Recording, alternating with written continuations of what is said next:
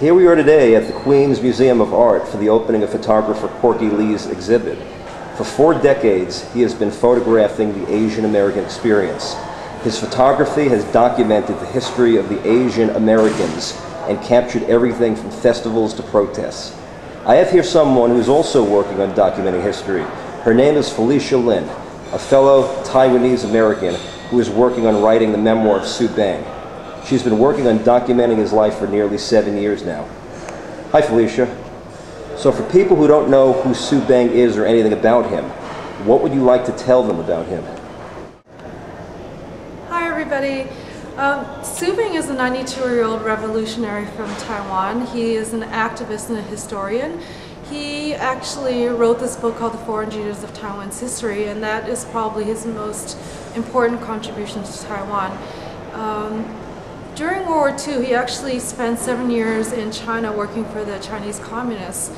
And the reason why he was doing that was to resist the Japanese because the Japanese had these imperialist ambitions to take over Asia. And at the end of World War II, he finally escaped from the communists because he realized how hypocritical and corrupt they were back to Taiwan. At the same time, the Chinese nationalists were kicked out of uh, China and that with Chiang Kai-shek and they went to Taiwan. Um, Chiang Kai-shek was a very oppressive dictator, so Su Beng actually plotted to assassinate him. And when it was discovered that he was planning to do this, he had to escape from Taiwan and ended up in Japan. Um, later on, he was in Japan for about 40 years, at which time he wrote this book called The 400 Years of Taiwan's History. Now, that book is actually considered the Bible or encyclopedia of Taiwan's history because it was the first one of its kind um, written about Taiwan's history, and a lot of people still reference it today. Um, and so, that I think is one of his hugest accomplishments and contributions to the Taiwanese uh, Taiwan independence movement. Great. What is it about his life story that really resonates with you? I think the thing that's really compelling about Su Beng's story is that he's the person he's the kind of person that's always just thought that he himself as an individual could really make a change and make an impact, make a difference. For example, when he went to China to work undercover for the Chinese communists, he thought that he could make a difference in the movement to resist the Japanese who were trying to basically take over Asia during World War II. And later, when he uh, went back to Taiwan at the end of World War II and Chiang Kai-shek and the Kuomintang ended up in Taiwan, he saw that they were an oppressive dictatorial regime. So he started this plot to assassinate Chiang Kai-shek. Uh, and then after that, he had to flee from Taiwan to Japan because it was discovered that he was involved with this plot. And finally, when he ended up in Japan and he wrote Taiwan's 400 Years of History, which I believe is going to be his longest lasting contribution.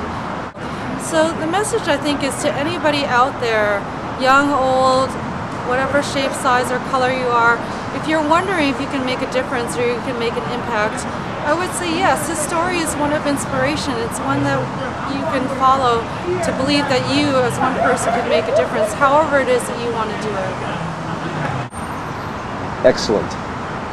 Why have you decided to take this on and to tell his story?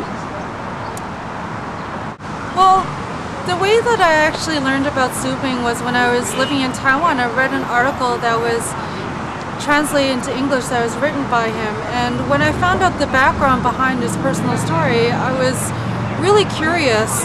And so I initially approached him asking if I could write, interview him and write something based on his life. And as I got to know him, I realized that he is actually a living piece of history and that his life is uh, something that's worth documented and another way for people to understand the story of Taiwan.